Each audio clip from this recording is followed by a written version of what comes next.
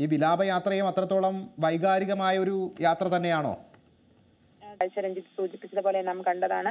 നിരവധി ആളുകൾ നൂറുകണക്കിന് ആളുകളാണ് ഈ എയർപോർട്ട് പരിസരത്ത് തന്നെ ഉണ്ടായിരുന്നത്. അപയാത്ര പോകുന്നിടത്ത് പതിനാല് സ്ഥലങ്ങളിലാണ് അതിരിച്ചുകൊണ്ട് തന്നെ അത്തരം ആദരാഞ്ജലികൾ അർപ്പിക്കാനുള്ള ക്രമീകരണങ്ങൾ ഒരുക്കിയിട്ടുണ്ട്. കാരണം സാധാരണക്കാരായ ആളുകളുമായി ഏറ്റവും കൂടുതലുള്ള ക്രമീകരണങ്ങളാണ് നൂറുകണക്കിന് ആളുകൾ ഈ റോഡിന് ഇരുവശവുമായി അദ്ദേഹത്തിന് അന്തിമോപചാരം അർപ്പിക്കാൻ എത്തിയിട്ടുണ്ട്. തിരൂർ പൊന്നം ചുങ്കം തുടങ്ങിയ പ്രദേശങ്ങളിലൂടെയെല്ലാമാണ് ഈ വിലാപയാത്ര കടന്നു പോകുന്നത് ഈ പതിനാല് കേന്ദ്രത്തിന് ശേഷമാകും മൂന്ന് മണിയോടുകൂടി മൂന്ന് മൂന്നരയോടുകൂടി എന്തായാലും ടൗൺ ഹാളിൽ തലശ്ശേരിയിലെ ടൗൺ ഹാളിൽ എത്തുക എന്നാണ് മനസ്സിലാകുന്നത്. ജനസാഗരം തന്നെയാണ് അക്ഷരാർത്ഥത്തിൽ കണ്ണൂരിൽ അല്ലെങ്കിൽ തലശ്ശേരിയിൽ ഇപ്പോഴുള്ളത്. രഞ്ജിത്ത്. തീർച്ചയായും കോടിയേരി ബാലകൃഷ്ണന്റെ ഭൗതികദേഹവും വഹിച്ചുകൊണ്ടുള്ള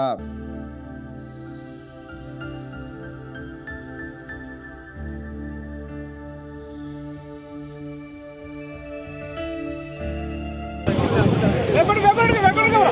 야, 앞으로 좀 머리 좀 빼고. 아, 따라 먹는 사람.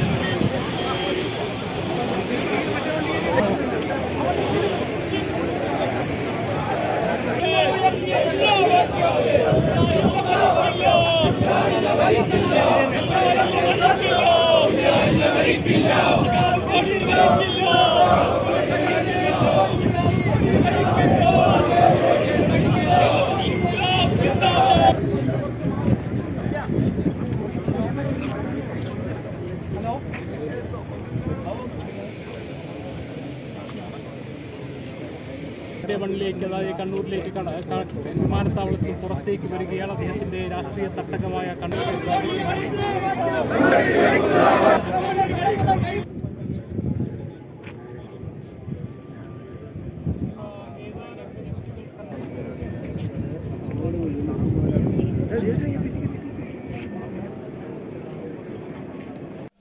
ഏറ്റവും പുതിയ വാർത്തകളും വിശേഷങ്ങളും അതിവേഗത്തിൽ അറിയാൻ Zee Malayalam news app download ചെയ്യൂ സന്ദർശിക്കൂ W W W dot Zee Malayalam news dot com